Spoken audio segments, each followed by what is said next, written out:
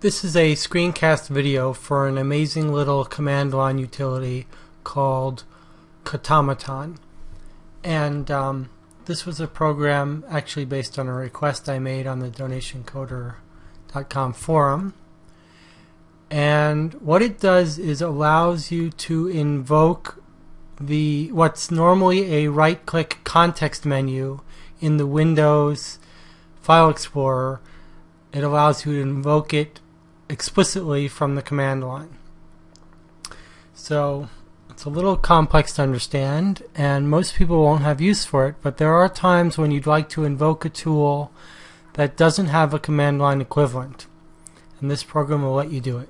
So let me just show you the two basic steps you would use. The first thing I'm going to do is call the program with this dash a dash p backslash a backslash p parameter on this file. And when I hit enter, what you'll see is that the context menu for this file pops up. This is what you'd normally see if you right click on the readme file. And you can see I've got my normal right click. There's actually a 32-bit version and a 64-bit version. But I'm going to choose this upload with Rightload, which is a program for uh, batch uploading files to different sites like Flickr ImageShack, whatever. And I'm going to choose Add to Queue. And what you'll see is the Rightload window has come up and it's shown that it's added this file to the queue. Um, but that's not that still required me to use interactively the right click menu. That's not what's special. Let's close this program and see what Cautomaton told us. It told us that when we invoked it with the context menu, it's it figured out that okay we first chose upload with Rightload and then within the submenu we chose add to queue. And now it's recommended to us how we might invoke this without any user interaction with the backslash m and then this little trail that we interactively picked. And so let's see if that works. I'm gonna uh, let's see is it in here there we go. Okay. So I've actually used a shortcut with the dollar sign lets you match substrings. So I've just said invoke the tool that's in the Rightload menu and then it's got add in it, which is basically just a shorter version of this on this file. So now I'm going to hit enter and we'll see what happens is it invoked, it actually executed that previously requiring interaction, that uh, context menu command that normally you'd have to use with uh, with user interaction, it's now invoked straight from the command line.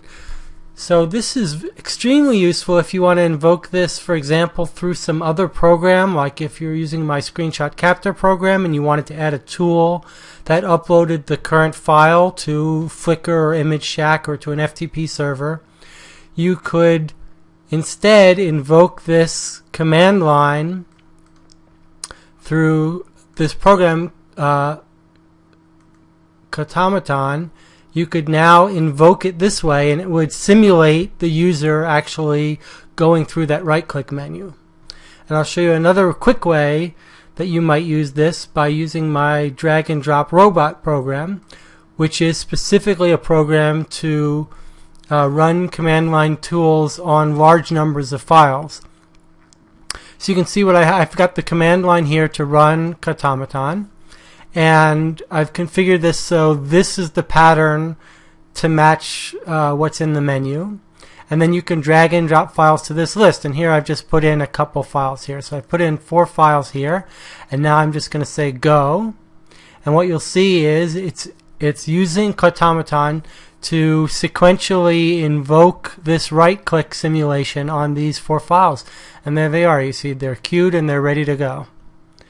So uh, Cautomaton is not going to be for everyone, but for those people who have right click extensions uh, that do useful things and are dying for a way to be able to invoke them um, non interactively for use with other tools, it is a brilliant program.